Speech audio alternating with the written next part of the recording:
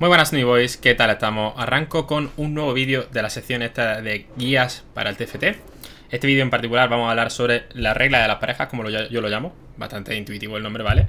Y el, el early game. Entonces, para empezar, ¿qué es lo que tenemos que hacer en la ruletita esta que aparece? Lo primero, primero que tenemos que hacer, cogemos siempre una unidad verde de coste 2 con el ítem que nos interese. Yo suelo buscar, perdóname, yo suelo buscar la vara innecesariamente grande o el arco curvo. Pienso que los mejores objetos se combinan tanto con el arco curvo como con la vara innecesariamente grande, pero también hablaremos de esto en su momento em, en la guía de los objetos. ¿Por qué una unidad de coste 2? Vale, os explico. No es algo que tengas que hacer sí o sí, pero a mí me funciona muy bien así en el juego.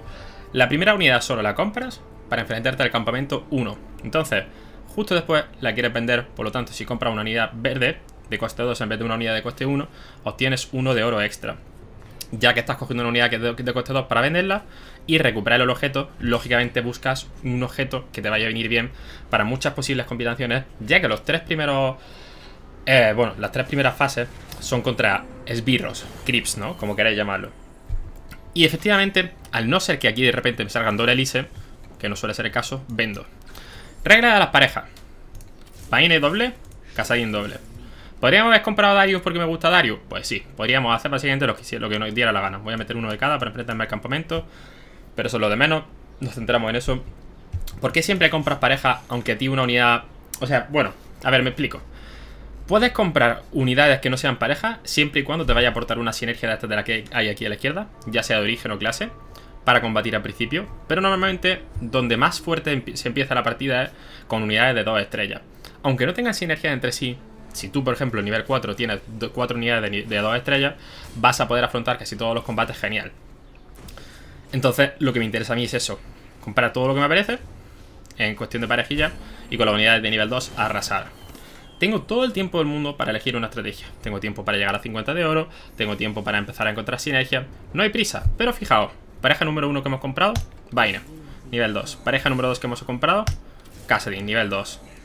Y ahora podría elegir si coger eh, Nidalee o Vaina. Y voy a coger otra Vaina simplemente porque, bueno, quizás en algún momento consiga una Vaina de 3 estrellas.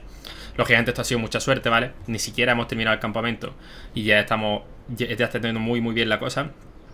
Pero la cuestión es que con esto vamos muy poderosos. Ella es Noble Ranger. No tiene nada que ver con Casain, que es Void Sorcerer. No tiene nada que ver, pero son unidades de nivel 2.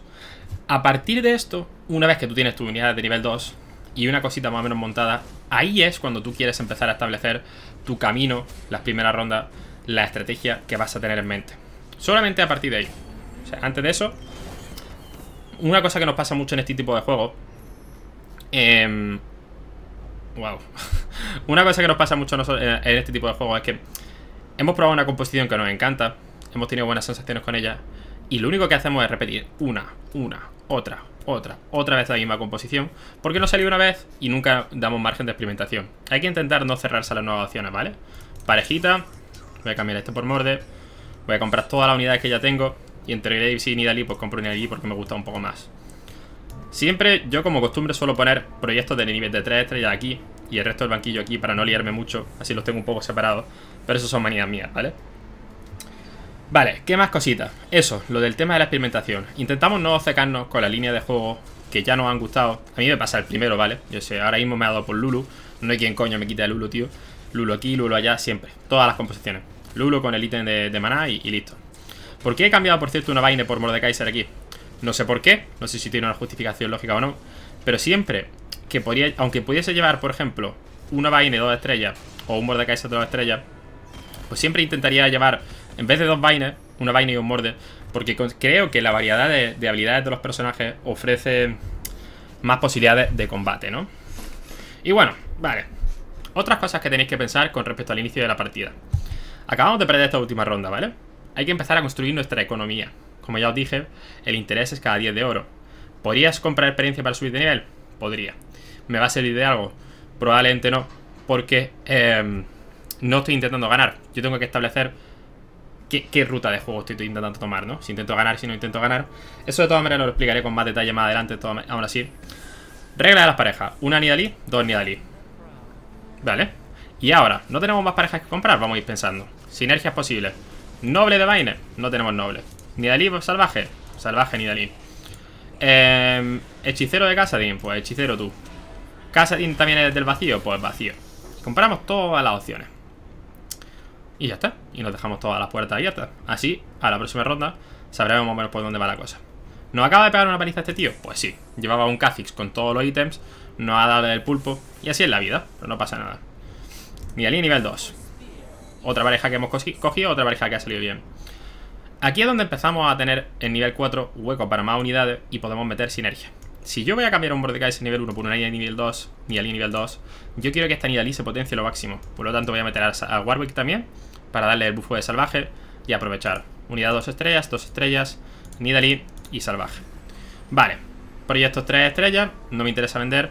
Tenemos un Kha'Zix, compramos segundo Kha'Zix. Y ahora, proyecto que me interesa tener. Tú eres noble, tú también eres noble, vale. Mordekaiser eres Knight, tú también eres Knight. Bueno, vale.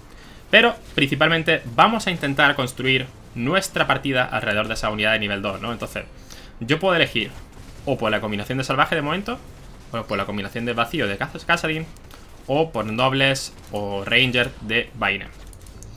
Lo ideal es quedarte con una o como mucho dos direcciones. Porque a partir de este punto, cuanto más claro tengas, voy a coger este por noble, cuanto más claro tengas qué dirección vas a ir, al menos tu plan de juego va a estar mucho más centrado. Y no te vas a hacer un lío. Y bueno, creo que ya a partir de esta ronda pierde un poco el sentido, ¿no? Aquí ya tiene mucho más que ver con qué unidad me interesa, qué unidad no me interesa, eso es lo de menos. Quería llegar hasta el carrusel, porque aquí es donde es interesante. Salida fuerte, regla de pareja, combinaciones. Y bueno, no ha salido perfecto en este vídeo porque mis oponentes tenían buenos ítems y tenían mejores composiciones incluso.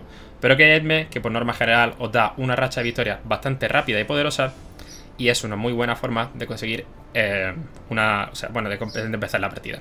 Así que nada, espero que os vaya bien con esta estrategia, chavales. Nos vemos en el próximo mini vídeo.